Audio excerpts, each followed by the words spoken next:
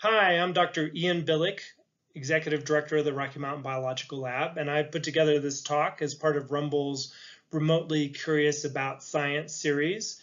And this talk is meant to introduce you to Rumble and put the Rocky Mountain Biological Lab within the context of some history, um, history of the Gunnison Basin, as well as history of science. Um, we're going to take about 65 minutes, but we're going to cover a little over 600 years of science and uh, the emergence of ecology of a discipline and how the Rocky Mountain Biological Lab fits into that. So welcome, and I look forward to uh, taking this journey with you. One of the trivia questions I like to ask when scientists or students come to Rumble is when they think the first science paper was first published based upon fieldwork in the East River Basin where Rumble is located. Rumble's founded in 1928, so a lot of times the answers date back to 1928 or a little bit later. Occasionally people suspecting me of a trick question will throw out something from the late 1800s. The first science paper based upon fieldwork in the vicinity of Gothic, Colorado actually dates to 1880. Um, and what we're talking about are scientific journals where scientists publish their results um, they're peer reviewed, other scientists review them. There was actually a science team that came through the Gunnison Basin in 1873. And like most scientists, it took them a while to get their research out and they didn't get it published to 1880. So science has been happening in the Gunnison Basin almost for as long as um, Europeans have been coming um, and definitely before the mining boom hit. This is a hand drawing of Teocalli Mountain. It's a very distinctive peak um, that you see just east of Gunnison um, beyond Mount Crested Mountain where the ski resort is. And this hand drawing was part of that publication in the American Naturalist in 1880. It was done in the publication as well as the hand drawing um, were done by Ferdinand Hayden, who was a surveyor that came through the Gunnison Basin um, and he was writing up his results and he included this as part of the scientific publication. Um, I've seen this um, as recently as several years ago. There was another journal that was publishing a paper on mountains and biodiversity, and they pulled this hand drawing out and included it. So this image actually shows up in a number of different places. Um, it's beautiful, it's a striking mountain, um, and it goes back to that original publication in 1880.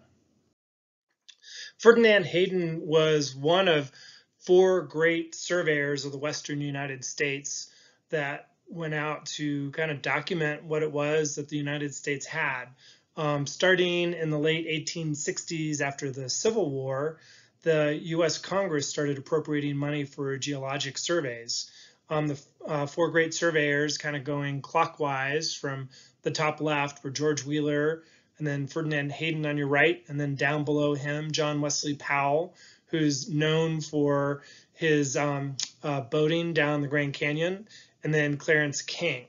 Um, these surveys were part of larger efforts to just fill in all of the blank spaces in the world. So you can imagine um, that even in the 1860s, 1870s, a lot of the United States was not discovered, mapped, and documented. Um, this is after the Transcontinental Railroad had been installed, so you could take a train from the East Coast to the West Coast, but there were still large parts of the country that we didn't really understand what was out there and what we had. So these surveyors were out there documenting, making maps, understanding what we had. And that publication from 1880 is simply a result of the survey that Hayden did when he came through the Gunnison Basin in 1873. Uh, Hayden did a whole series of surveys, and he's perhaps best known for being the person to originally document um, Yellowstone and um, all of the natural wonders found there. These surveys were really documenting everything that was out there, though the original emphasis was on geology. Um, when you look at this slide, one of the things you'll note is that they have some really nice geologic sections of the East River. Um, you can see the team sort of set up that would work. Um, and then there's a, a, hand drawing of Gothic Mountain. Um, presumably Gothic Mountain was named by the Hayden survey and it got its name because the mountain reminded them of the buttresses um, from Gothic architecture back in Europe. Um, so they came through and, and you can see some beautiful plates and hand drawings of mountains and sort of geology sections of the area um, if you find one of the old books where they documented everything that they found. These were geologic surveys, so perhaps it's not surprising that after the surveys, um, the miners started flooding in. And some of it wasn't just the survey, but also the fact that there were a number of innovations about how to process ore. Um, a lot of ore is not something that you just pick up. You know, sometimes you can find just a hunk of gold lying in a stream, but a lot of metals have to be extracted from the ore. So there were some innovations, technological innovations on how to extract silver, and that drove the silver boom in Gothic. Um, so these show some photographs back in the mining days, um, and that mining boom really started in 1879. Um, you can see all of the buildings sort of lining up the main road down Gothic. And on the left, as you look at this, you can see the Gothic town site facing Gothic Mountain. And there's a big hotel there. Um, and that became the uh, Grant Hotel. Ulysses S. Grant, former president, visited Gothic. And after he spent a little bit of time in that hotel, they named it after him. And then one of the other buildings, if you take a close look, you can see on the slide on the left, is Swallow's Nest, which dates to 1879 and was a attorney's building. And you'll still see that building looking largely the same if you drive through Gothic today. Gothic boomed uh, with the silver silver mining. Um, probably the most productive mine was the Sylvanite mine, which is located up by Copper Lake. If you follow Copper Creek to the east from Gothic, and you climb up just below the pass there, you get to Copper Lake. And the Sylvanite mine was very active and productive into the early 1900s. Um, one of the interesting facts that I learned about the mining was that for a number of years, the main way in and out of Aspen was actually over the pass above Copper Lake on the road down um, paralleling Copper Creek and into Gothic. Um, so at some point in the 1880s, they got a railroad to go in and out of Aspen, but for a period of time, the main way they moved materials in and out of Aspen was actually through the town of Gothic, and they built a toll road. Um, so when you walk along that, it's pretty wide and it's pretty flat. And there were mule teams that were going all winter long, bringing materials in and out. Um, silver, the value of silver crashed in the 1890s. So there was sort of the national silver crash. And when that happened, the value of silver dropped dramatically. Um, Gothic is a pretty remote location. We're up over 9,000 uh, feet in elevation. We get 450 inches of snow in a typical year. So it's not an easy place to be, not an easy place to get ore and get it out. So the transportation costs are quite high. So that silver crash hit Gothic really hard. And except for the continued operation of the Sylvanite mine that went on another 10 years or so, pretty much the whole area bottomed out. And so all of those buildings that had been built um, quickly started to fall into disrepair, um, given how much snow we have and how brutal the winter environment is at 9,000 feet in elevation. Um, buildings just don't last. Um, so this is a photograph not long after the collapse has started, and you can see that the town site is already emptying out. One of the buildings on the right is the Gothic Town Hall. It was actually a saloon. Um, the founder of RMBL, John Johnson, was pretty conservative and he did not like to have a saloon associated with the biology laboratory. So, um, so they Rumble developed the tradition of referring to that as a town hall. That building's still there, and you can see that if you come into the town site. And then if you squint in the middle, you can actually see the swallow's nest, um, which I mentioned on an earlier slide, which is still there. And it's kind of an iconic structure um, that you'll see in all of the old photographs. So I kind of start halfway through Gothic's history with the founding of Gothic as a mining town and, you know, really what I start with is when Ferdinand Hayden comes through with one of the big survey teams in 1873. But what those survey teams were doing was something that started much earlier. And, and one of the questions I like to throw out to the students is, what started the age of exploration and discovery. Um, I mean, something happened in back in sort of human history that launched exploration and discovery. And what's going on with the Hayden survey is just sort of the natural culmination of, uh, of a pattern of exploration and discovery that happened in the mid 1400s. So we could probably pin the origins of the age of exploration and discovery on a lot of different trends or a lot of different incidents. Um, but I like to go back, following some historians, to the fall of Constantinople in 1453. And it may seem kind of strange to pin it on the fall of Constantinople, but um, that was an important event um, that shut down a lot of the spice trade into Europe. Um, spices were something that were economically valuable, that were coming in from all over, and they were coming overland. And when Constantinople fell and was lost to the European empires, um, it completely changed how people looked at landscapes and prompted exploration and discovery. Constantinople had been important to the spice trade, and um, the map in sort of the bottom left-hand corner when you're looking at this slide shows the spice trade moving overland through Constantinople.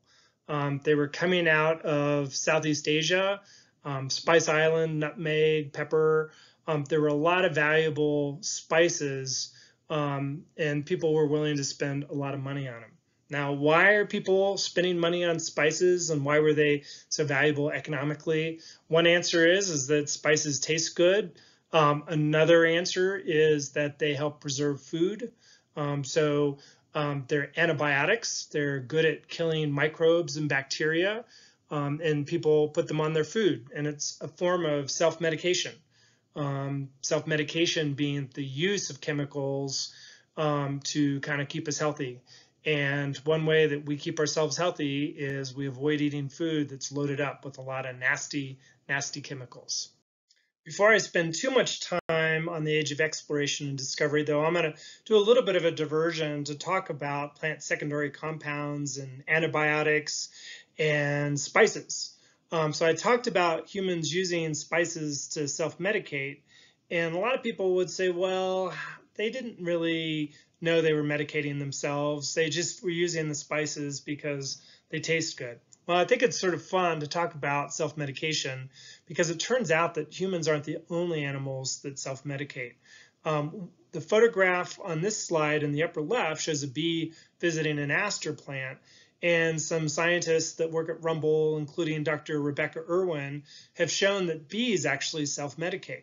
So if they get loaded with parasites, they will spend more time foraging on some of these showy yellow aster plants, which are loaded up with a lot of chemicals. And it turns out that those chemicals will help clear the bees of parasites. Um, a lot of plants are loaded up with chemicals and we don't always know what it is that those chemicals are doing. And often we call those plant secondary compounds. Um, these are chemicals that are not serving some obvious physiological function like grabbing energy from the sun or photosynthesis. Um, but the realization has been that often plants have a lot of chemicals so that they are not eaten. So they're deterring herbivory. Um, well, it turns out that the chemicals that plants use to keep us from eating them are also useful for the things that eat them to deter parasites on them. Um, and so in many instances, um, animals, insects that figure out how to eat those plants or consume those chemicals, and the trick is always getting the right dosage, are able to protect themselves and self-medicate. And then one of my favorite examples has to do with cows in larkspur. Um, so in the Gunnison Basin, typically the ranchers will not bring cows up to graze to higher elevations until the tiny larkspur done flowering and the larkspur loaded up with chemicals that are toxic in small amounts in the right dosages. The um, uh, cows will consume them and it helps protect them from feeling cold. So they'll get some kind of little buzz. So if a cold front is coming in they'll eat just a little bit of that and they won't feel the cold the same amount. Um, but if they eat too much of it or if they aren't certain and they eat it by accident, they can overdose. So humans are not the only animals that use plant secondary compounds to self-medicate or to manage their physiological state. It turns out to be something that's relatively common. And this desire for spices, either because of taste or um, preserving foods or keeping ourselves healthy, um, really initiated that age of exploration and discovery. Because once the spice route, overland spice route, was shut down with the fall of Constantinople, there was huge economic pressure for people to figure out another path um, by sea to get those spices. With the fall of Constantinople, explorers and discoverers started journey, journeying down the west coast of Africa. And the technology for the ships wasn't sufficient originally for them to do long journeys. They struggled if they got too far away from um, from the mainland. They didn't know how to navigate, keep track of where they were. But um, again, huge economic incentive because if they could bring spices back, they were going to make a lot of money. So people kept trying and they kept pushing further and further down the west coast of Africa until they were able to get around uh, the uh, Cape. Um, and as technology improved, they got better and better and able to journey further. Um, one of the metaphors I like is this term, here there be dragons. And in some of the old, old maps, when they were figuring out exploration and discovery, when there was some part of the world and they just didn't know what was there, they would draw a dragon and say, here there be dragons. Um, and so I like to think of the age of exploration and discovery as being the process filling in all of those empty spaces on the maps as the explorers are out there charting, navigating new places. And when we talk about the Hayden survey coming to the Gunnison Basin in the 1870s, we're just talking about one of those last great expeditions that's filling in the holes on the map. And what they're doing is replacing dragons with scientific knowledge, um, geology, biology, about what's going on in those locations. Um, so that whole process leading to the founding of Gothic as a mining town starts, in my opinion, with the fall of Constantinople and sort of a push to uh, get rid of all of the dragons of the world and fill in all of those empty spaces.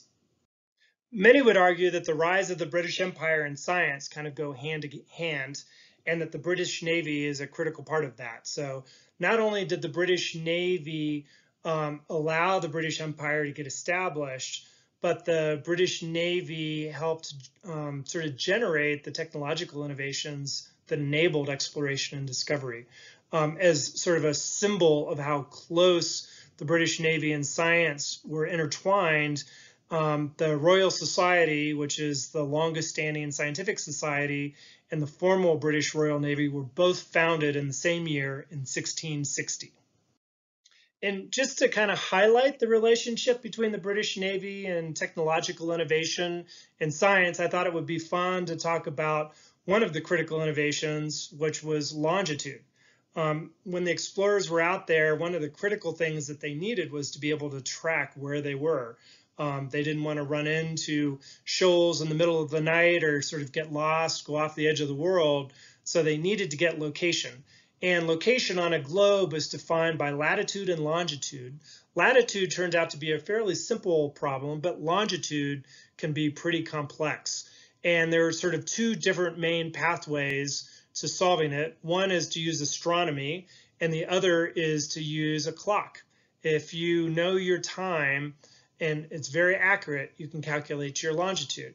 If you do a really good job of celestial navigation, you can also navigate um, and know your exact location and longitude. So um, the British Empire launched a competition um, and offered a lot of money to whoever could uh, solve the longitude problem. And then I like to point out um, that the person who ended up arbitrating and deciding between the clockmakers and the astronomers was a botanist. So Joseph Banks, who was president of the Royal Society um, and based his science career on botany, was actually the person who had to decide who won the prize. Another technological innovation that turned out to be really important for discovery was the lime. And obviously, they didn't invent the lime, but rather they figured out how to use it. Um, one of the challenges for these long voyages was that the sailors weren't necessarily getting balanced diets, and many of them developed scurvy, which turned out to be a vitamin deficiency. And um, James Cook, who is one of the main navigators from the 1700s, um, and Joseph Banks, um, who was the arbiter on the longitude debate, um, and, and Joseph Banks joined James Cook on his first expedition.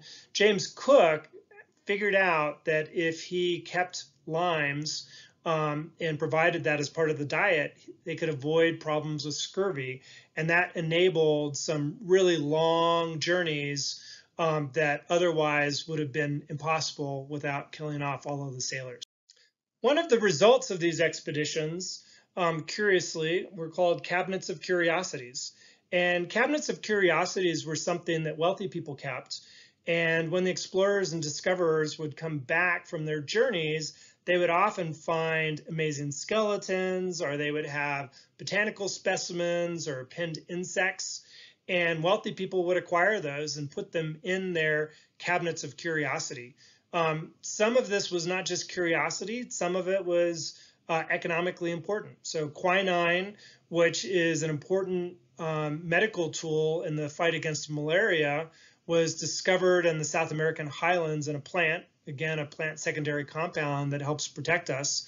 Um, and so these collections, these natural history collections that people were bringing back, um, were both a way to kind of just be curious about the world that was being discovered, but in many instances led to economic discoveries or health discoveries that were very important. Interestingly, these natural history collections form the basis of the Natural History Museum in London or Kew Gardens, where a lot of the botanical specimens went. Um, this tradition of museums, in many ways, dates back to these cabinets of curiosity. In some ways, we could say that field science and field biology really started with these explorer and discoverers that were bringing items back um, and handing them off to people who put them in their cabinets of curiosities. Um, if we jump forward to the Rocky Mountain Biological Lab, RMBL is known for ecology, um, which is the study of how organisms interact with their environment. Um, and, and these original field scientists weren't necessarily doing ecology because all they were doing was collecting and documenting the world's diversity um, the maybe ecology starts to emerge in the early 1800s with one of the great early explorers, Alexander von Humboldt. Um, you may know the name Humboldt. We have Humboldt County, we have Humboldt Park, we have lots of things named after Humboldt in the United States. And he was a well-known figure in the early 1800s out of Germany and Europe who did a lot of exploring and collecting. What I'm and I've shown a photograph, or not a photograph, a painting of him sitting on your left when you look at the slide. Um, but then there's a drawing um, from one of his works. Um, and, and this shows one of the big volcanoes in Ecuador. And, and we see kind of some of the earliest thinking um, leading to ecology in Humboldt's work because he writes about different plant zones and how the environment affects what kind of plants are found at different elevations. And I know it's too small to see, but all of those little words that you can't see on the slide represent plants in different ecozones there on the volcano. And so it's some of the original thinking um, that, that leads eventually to the field of ecology. Probably some more well-known scientists um, that were involved in the emergence of uh, ecology as a scientific discipline are Charles Darwin and then someone who's less well known, Alfred Wallace. Both scientists were kind of co-discoverers of the theory of evolution. And, and Charles Darwin is known for the voyage that he took. Um, he served on the ship and he was a naturalist and a lot of his focus was on collecting material. So he collected birds, he collected plants, he was really documenting everything that he could find on this voyage.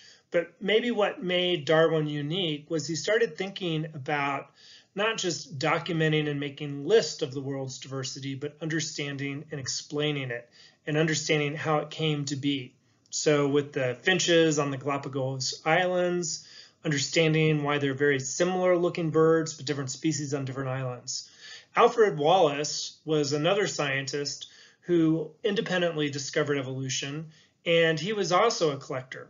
He was doing a lot of work out in the Southeast Pacific um, on the islands, and the way that he funded his trips was he would collect material to give to wealthy collectors, going back to the cabinets of curiosity. And, and he collected a lot of butterflies and um, showing the kind of butterfly and moth diversity um, that he would collect and then he'd bring back and sell those to the collectors and help fund his exploration and discovery. The theories, the theory of evolution that they both developed because it tried to explain the world's diversity and then to do that needed to explain and understand the relationship between organisms like butterflies and birds and their environment also really helps set the stage for ecology. So um, they followed after Alexander von Humboldt. We know that Darwin took a copy of Humboldt's writings with him on his voyage, um, but they sort of developed ideas related to ecology um, and took it the next step further.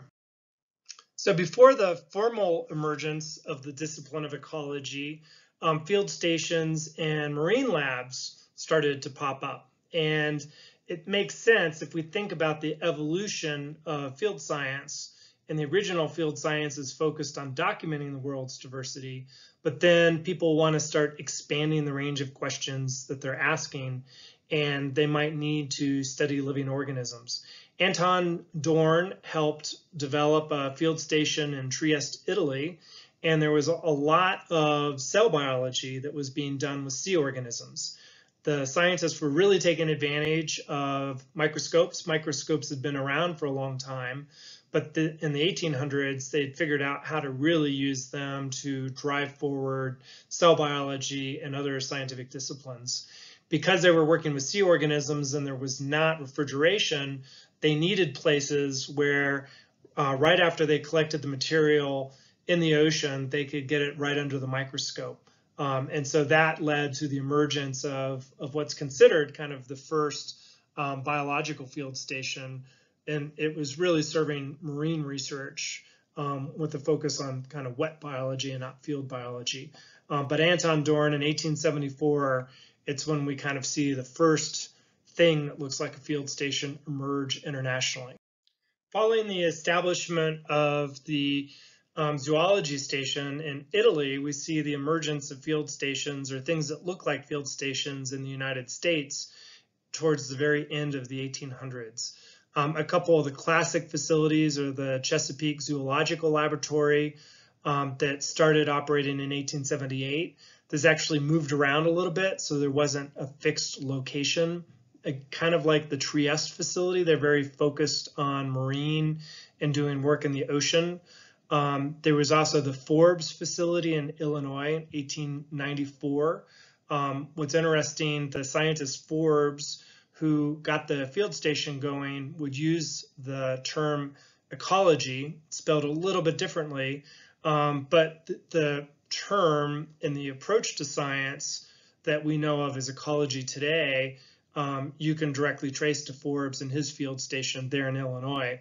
And they're working on lakes. And then the Flathead Biological Station with the University of Montana also emerged right next to a lake. You can see it on your far right, some of the students out in 1899. So the United States, we see the emergence of facilities to support scientists working in the field Again, these are all sort of wet biologists, so they're people that are working with, with water samples. Around the same time, so again, the very end of the late 1800s and the early 1900s, we see uh, true field stations emerging. And what this is, is a list of different field stations that were popping up in the western United States. It includes Flathead Lake in Montana in 1899, Another place, um, the New Mexico Biological Station, um, probably the one that gets credit for being a true field station is often the Desert Botanical Lab, um, organized through the Carnegie Institution right outside Tucson, Arizona. Um, you might notice that there's the Rocky Mountain Biological Station, um, that was started in 1922 in Gunnison County, and then in 1928 RMBL, sort of the focus of this talk tonight. Um, so um, we see field stations just popping up everywhere all about the same time, and they're coincident with the emergence of ecology as a scientific discipline. So ecology emerges, 1915. Our professional society is the Ecological Society of America. Um, as I mentioned earlier, we define ecology as the study of organisms and how they interact with the environment. Um, after the founding of the Ecological Society of America, we see the emergence of a, of a journal, scientific journal, that's really dedicated to ecological research. And it kind of emerged from a journal that was focused on botanical research. Um, and so even though this shows volume three, um, it's actually the first volume of ecology. Um, the previous volumes had different titles that didn't have ecology in the title. So 1922 is when we see ecology. 1915 is when the professional society uh, first emerges following on Forbes' use of the term. And then 1922, we see a full-on journal using ecology as the name. So now we're ready to come full circle and come back to the Rocky Mountain Biological Lab. So we, we started with the Hayden survey in Gothic and showing up in 1873 and doing some of the first field research. And we talked about the founding of Gothic as a mining town in 1879. And then that collapsed in the 1890s. And then um, because we're just wandering and exploring, we jumped all the way back to the fall of Constantinople and talked about how explorers and discoverers started to fill in the map. And then we traced the arch of ecology, the arc of ecology, um, through Alexander von Humboldt and through Darwin and Wallace some of those ideas and Forbes using the term ecology and the emergence of field stations in the late 1800s and early 1900s. So this brings us to John Johnson, 1909. In 1909, um, Western, which is the local college and university, um, established a normal school, which is a school that trains teachers, and John Johnson ended up teaching there. He married a local woman from Gunnison, um, but then decided to go off to University of California, Berkeley and get his PhD in parasitology. Um, in about 10 years later, in 1919, Western decided to convert from a normal school training teachers to a regional four-year college. And it was very difficult to find PhD professors to move to remote rural areas um, they knew that John Johnson had family here and he had come back to visit. So they asked him if he would be willing to start the science department at Western. He accepted the position and started a biology department. And then as part of that, he established the Rocky Mountain Biological Station, which was on that list just north of Gunnison in Almont. And that was a field station operated through Western State. Um, and he op they operated that for about six or seven years. But then they ran into political problems um, that led to John Johnson leaving Western and then setting up an independent field station, the Rocky Mountain Biological Lab. This is an odd slide to have in a history of science talk, but the issues that led to John Johnson leaving Western and the establishment of the Rocky Mountain Biological Lab had to do with the Ku Klux Klan the Ku Klux Klan was very active in Gunnison and Colorado and a lot of the United States in the 1920s. And the first president of Western was not active with the Klan. They got him fired. And John Johnson was the dean of science and part of the management team, so they got him fired too. He sued the school for an illegal firing, and Western hired him back.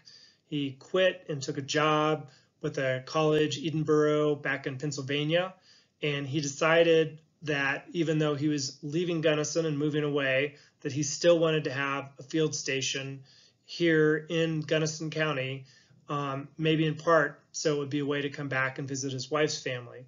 And uh, when he decided he wanted to do that, he was very familiar with the town site of Gothic.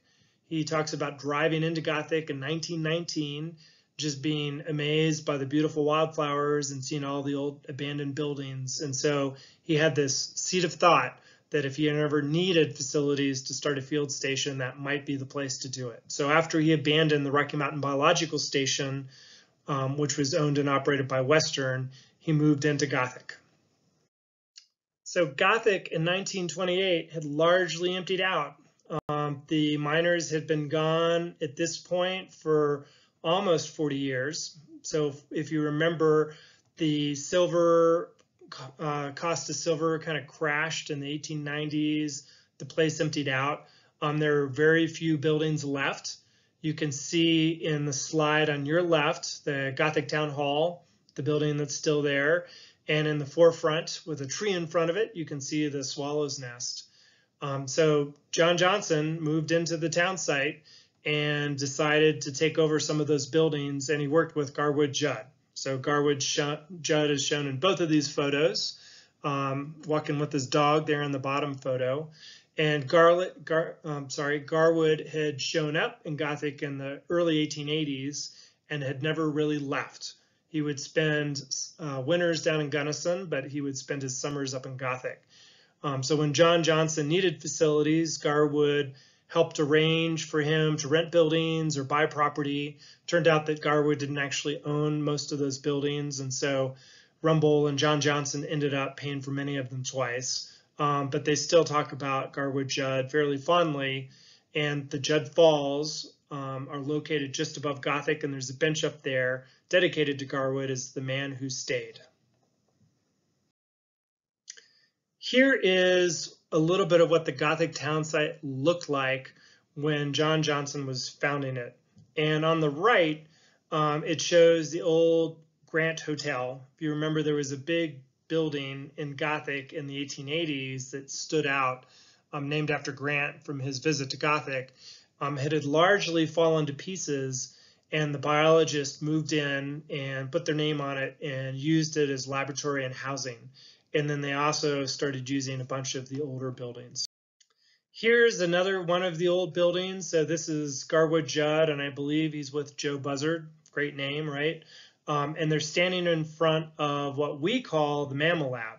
The Mammal Lab was actually an assay building that was built by the Doucette Company in 1914 when they tried to revive mining. And the Doucette Company very generously allowed Rumble to use that building until after World War II and after World War II, they ended up donating it to Rumble. But it was a core facility um, from the very early days um, where they taught classes. In this photo, I just sort of love it. It captures a lot of interesting things. You can see the town hall there on the right. And this photo dates to 1928, and it was a family out of Illinois visiting um, just to learn a little bit more about the field station and the research that was going on. You can see the swallow's nest there in the background um, up on the hill on the left side. And here's a photo of all of the scientists and students and families that were there in Gothic in 1928. John Johnson is in the back on the left um, in sort of the back row. And uh, you can see his kids, including Clea and Chris, um, and the twins um, sitting there with some of the other kids in the front row. Um, Dr. Bean is on your left. He's a scientist from Germany that came over as part of the first year. Um, so they were able to attract a number of scientists um, to get the biological lab going pretty quickly. A lot of the original focus at Rumble in the late 1920s and 1930s was around education and students um, there wasn't what we think of the professional research class focused on getting grants and writing scientific publications. You can see Dr. Bob Enders um, lecturing on the porch of Mammal Lab, and then a couple students working inside the Mammal Lab. Um, they've got, looks like collecting jars and are doing some drawings and working with some of the old books. And so this just gives you a sense of what Rumble was like in the 1930s if we step away from Gothic for just a second in the Rocky Mountain Biological Lab and look again at the big picture, um, we talked about exploration and discovery, um, and that was current through the 1880s. But um, by the 1900s, a lot of the world had been discovered. So except for a few places like Papua New Guinea, um, where they're still running expeditions, a lot of the discovery process turned inward, focused on technology. And there was a big change in how research happened in the United States following World War II.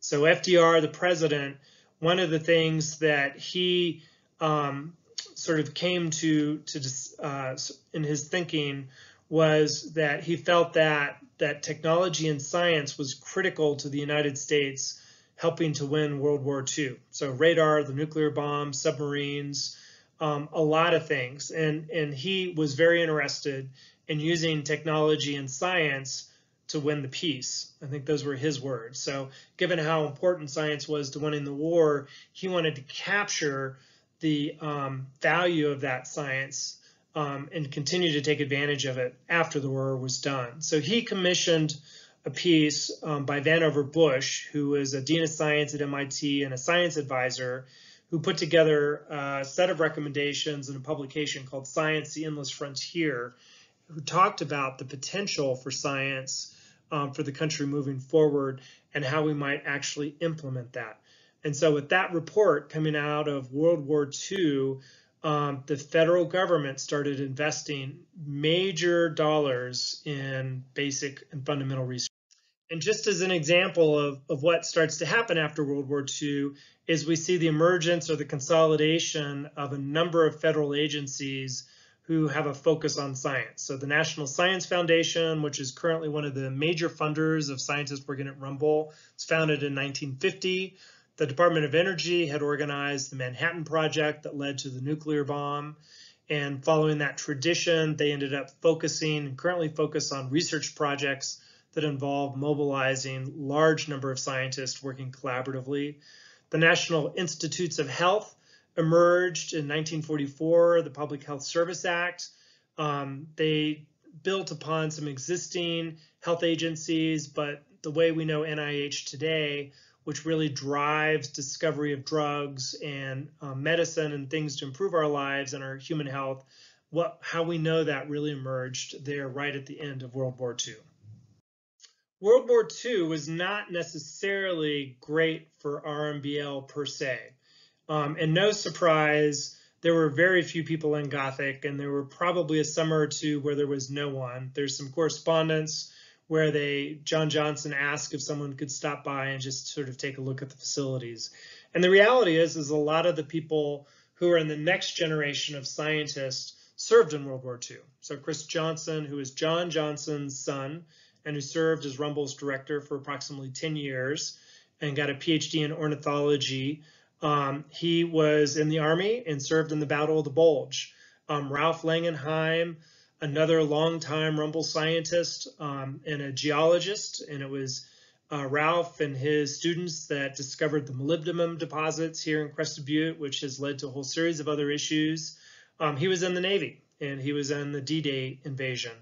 Um, another scientist, um, Sid DeBoer, um, he was in the Air Force and he uh, mapped North Africa. I had the privilege of knowing all three of these individuals and hearing a little bit about uh, their, you know, their service. Though Chris Johnson um, never really talked about it with me, um, but Sid would tell me about flying into all of these remote oases in northern Africa as part of mapping. So a lot of the scientists um, were not coming to Gothic because they were in service. Um, so even though there was a big investment coming out of World War II, John Johnson, the founder of Rumble, was faced with this dilemma of how to get the Rocky Mountain Biological Lab jump-started again. A fun story related to how John Johnson got Rumble jump-started again after World War II um, leads to the discovery of the Nobel Prize four or five years ago. Um, so in the early 1950s, John Johnson, as part of getting Rumble going again, decided that there should be a celebration of Rumble's 25th anniversary. And he started inviting whoever he could think of to come back out just as a way of creating activity um, on vitality. And one of the scientists that he wrote to is shown on your left, and that's Colin Pittendrigh. And Colin Pittendrigh became known as the father of the biological clock. Um, he was very eclectic. He did a lot of things. He worked with NASA on Mars missions.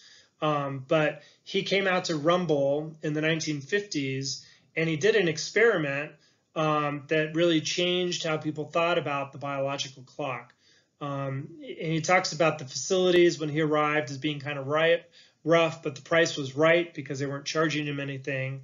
And he found an old abandoned outhouse and he got his wife's pressure cooker and he found a stream because he liked to fly fish and that was why he was kind of willing to come out. And he studied flies and how fly larvae would develop. And using the outhouse and the pressure cooker and the streams, he manipulated pressure, temperature, light, and he found that the flies were able to keep an internal rhythm, which suggested that there was a biological clock that regulated their lives. And uh, three or four years ago, the Nobel Prize was given to these three scientists that ended up working out a lot of the details of the biological clock. Um, but Pittendrigh was known as the father of the biological clock and sort of initiated a lot of that uh, eventual research. And one of his early critical experiments was done in an outhouse in Gothic. And he came to Gothic because he liked to fly fish. And John Johnson was just trying to figure out how to get people to come back out. Colin Pittendrigh was not the only scientist that John Johnson was able to recruit. And there were a number of scientists in the late 40s, 1950s, early 1960s that represented the next generation of scientists along with Dr. Pittendrigh. Um, uh, Dr. Remington, Charles Remington is shown on your top left holding the butterflies. He was a professor at Yale, um, became known as the father of butterfly biology. Bob and Scotty Willey are shown next to him on the top in the middle, both scientists that worked at Rumble. Uh, Scotty, I think, was the first female scientist to get a PhD from Harvard University in the late 1950s. Ken Armitage, who was at the University of Kansas and helped found the discipline of physiological ecology, started coming out around then. Jean Langenheim on your bottom left, she did her PhD. She married Ralph Langenheim, so they were an academic couple until they got an academic divorce. He did his PhD on geology, and Jean did her PhD on plant succession, um, working with some of the early ecologists. Um, so she started working out here in the late 40s. Paul Ehrlich, who was a very well-known popular figure in the 1960s and 1970s, started coming out about the same time as Ken Armitage in the early 1960s. Um, in some ways following Charles Remington, Paul Ehrlich's research, his fundamental research was on butterflies. And then in similar fashion, Dr. Ward Watt started about the same time, another amazing butterfly scientist following in the lineage of uh, Charles Remington, started coming out about that same time. Longtime faculty member at Stanford University before moving to the University of South Carolina. So Rumble was a great place to come, and it's still a great place to come. And these scientists just kept coming back. And what that meant is it has meant that Rumble has become host one of the world's uh, largest collections of long-term studies. Um, the butterfly work that uh, um, Carol Boggs does dates back to 1986 and some of her long-term tracking. Ward Watt, who's been doing research on butterflies, started, as I mentioned, in the early 1960s. The Marmot Project goes back to Ken Armitage in the early 1960s. Uh, plant flowering, um, when they flower and all that starts in 1971. Um, so it's a beautiful place and people keep coming back. And so we ended up with one of the largest collections of long-term studies. Not only did Rumble end up with the biggest collection of long-term studies, but we just had wonderful scientists who were well known and continue to be well known in a number of different subdisciplines within ecology. Rumble is probably best known for the research on pollination biology, the study of how insects and animals pollinate plants, as well as plant insect interactions. Um, so how plants defend themselves from herbivory and how insects eat them.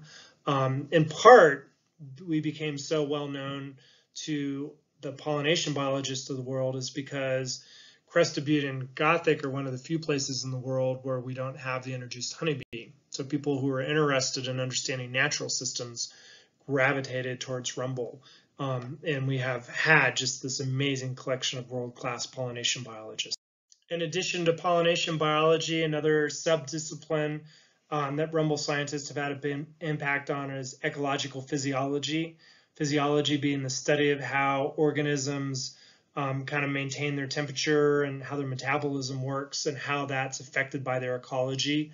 Um, this goes back in part to Dr. Ken Armitage, who worked with marmots and also was a major figure in ecological physiology. This shows a uh, cover of some marmot research um, related to physiology and marmots, how they're responding to climate change. And then another amazing ecological physiologist was Dr. Bill Calder, who studied hummingbirds and was fascinated by the fact that hummingbirds live so long, even though most small organisms don't live long, and long-lived organisms tend to be large things like elephants. Um, so he did a lot of really interesting physiological work with hummingbirds at RMBL. Another discipline that's really started to take off at RMBL is ecological genomics. So as the cost of sequencing genes has dropped dramatically, um, it's been a lot easier to relate the genomes of organisms to their environment and how they interact with their environment. I'm showing a picture of a Arabidopsis, which is a plant, actually I should say Boechera, it's related to Arabidopsis, um, but a little mustard plant that uh, several scientists, Jill Anderson and Tom Mitchell-Olds, have worked on doing genomics. Uh, Ward Watt, who I mentioned earlier, has done some amazing work with the Colias and yellow butterflies and the genes related to color production and their ability to uh, fly and, and be active at different temperatures. And then Noah Whiteman with his student Nicholas Alexander shown on the right, um, taking advantage of some uh, work on cardamine, a different mustard, and the relationships with flies, looking at the genomic architecture of how organisms are interacting. Aquatic biology, um, both in terms of lakes, ponds, as well as streams, has been a very active area of research. Dr. Bobby Peckarsky started at Rumble in the early 1970s, and Scott Wissinger, Stan Dodson, um, some amazing research on streams and on ponds. Um, and and they've generated the science um, and written the textbooks, or the textbooks are written about their research um, on how we can use insects as indicators of water quality, um, how we can understand um, sort of the ecological features of the environment that determine the life histories of insects. Um, so aquatic biology is very well known around the world.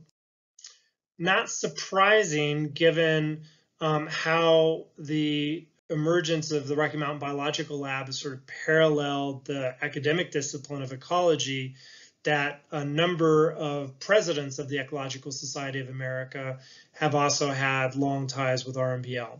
A.O. Weese is shown in the middle, and uh, he was one of the founders of RMBL and one of the early presidents of the Ecological Society of America. Hal Mooney, um, on your top left, was a student at Rumble.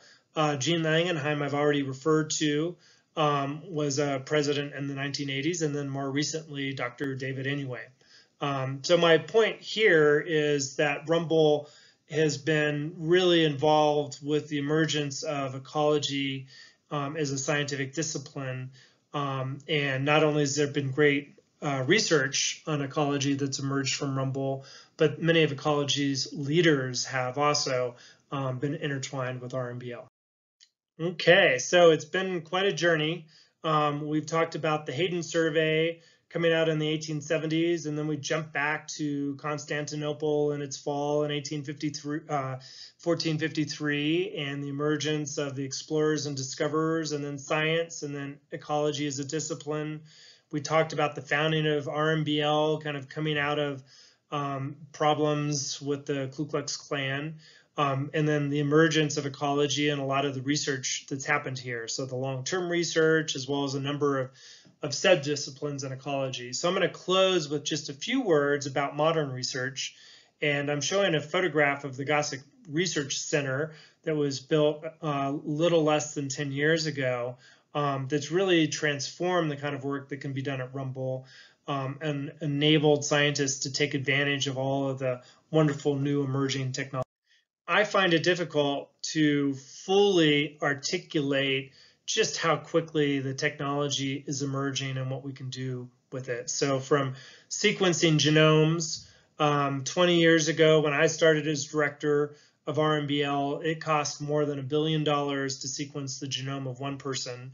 And now Nicholas Alexander, that graduate student I showed you several slides ago, is sequencing the genome of individual hummingbirds for less than $100.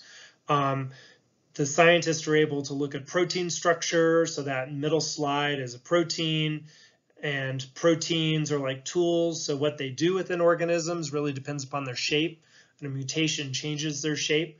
Um, so Ward Watt, when he's working on butterflies, can look not only at the genes, but the proteins that those genes are responsible for. Um, and then you can't quite see it, but on the far right is a weather station. Um, sensor technology and our ability to measure things has changed dramatically.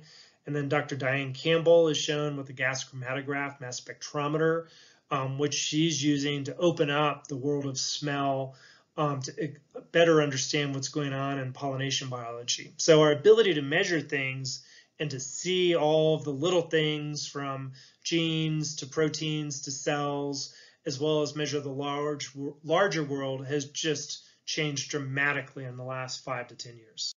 So as Rumble has thought about going forward, we've really built on this idea that we call the ecology of place. This is an idea um, developed by Mary Price and other scientists, which is that sustained study of a single location enables insights into how the world works that you couldn't get from just studying lots of different locations independently and separately.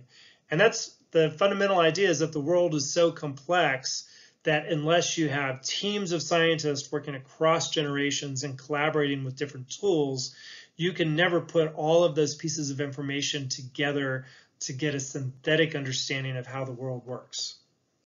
This idea of the Gunnison Basin and the East River Basin as a model ecosystem really just extends very successful approaches in science um, with something called model organisms. And so here I'm showing in the bottom left the fungi, and then the Arabidopsis plant, um, and then a fly, a fruit fly. Um, and there on the top left is a phylogeny, which shows different kingdoms of plants and animals and how in each of these kingdoms and domains, there are organisms that are intensively studied um, and they're called model organisms and and they're model organisms because thousands of scientists will work on them and they'll each get their own individual insight and will be more efficient because they can share tools and they'll be able to do more synthetic work because they'll be able to integrate the different research projects. So science and biology, because they're dealing with such complex systems, has taken advantage of this idea of model, uh, model organisms. And what we're doing at Rumble is essentially extending that idea to a full ecosystem. Um, so by sharing tools, and being able to put information together and creating synthetic approaches, um, we can get a really deep understanding of how the world works. This understanding of how the world works is not just a matter of exploration and discovery, but it's something that's critically relevant to the quality of your life. Um, and if we think about those original explorers and those cabinets of curiosities, it's true that many of the items that they found were just curious and gave them a lens to see the world. But it's also true that some of those things that the explorers were bringing back were plants that had lots of economic value, from coffee to chocolate to quinine, um, plant secondary chemicals, which we use for medicine. Uh, Rumble scientist, a student of graduate student uh, Dr. Paul Ehrlich's is Dr. Gretchen Daily, who's shown here. And she's known for developing this idea of ecosystem services, which is putting an economic valuation on all of the things that our natural ecosystems do um, that support human life and quality of life and economic systems. Um, and uh, that's ranges from water to invasive species to biogeochemical cycles like nitrogen and carbon um, to infectious disease like Zika or more recently the coronavirus. Um, so this approach to the Gunnison Basin as a model ecosystem, it's not just a matter of curiosity, but it's something that actually potentially has lots of economic value across the world. And just to give you a few examples of how the research at Rumble has affected policy and economics as well as quality of life, I'm just going to throw up a few. Um, some research done by Dr. John Harte and his collaborators up at the Mexican Cut um, led to legislation during the revision of the Clean Air Act in the early 1990s. Um, so we can say that the air in the western United States is cleaner in part because of the science done at RMBL. Food security is another uh, issue that's been informed by research at RMBL. Here I show Dr. David Inouye, who's been working on plant flowering times. And the top two photographs, on the one on your left and then in the middle, show the same meadow on this um, almost the same day of the year. And one meadow is just, and it's the same meadow, but one year it's filled with sunflowers, and other years it's not.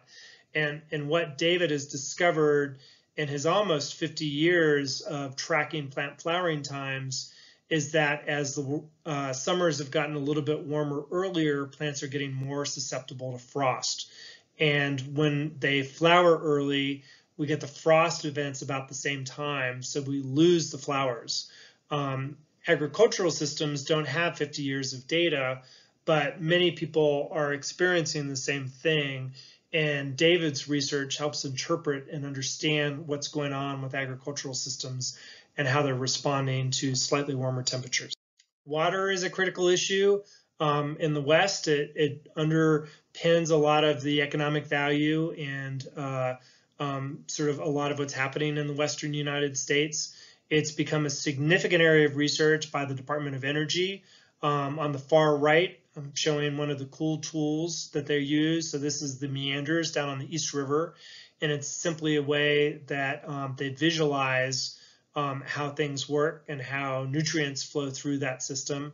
But this work on water goes back um, a long time, 60 years, and is an example of some of the work that has policy implications. Dr. Theo Colborn um, has popularized the issue of endocrine disruption, small little chemicals that mimic endocrine and disrupt the development of, um, of uh, embryos. And she got her start doing research on water quality here at the Rocky Mountain Biological Lab.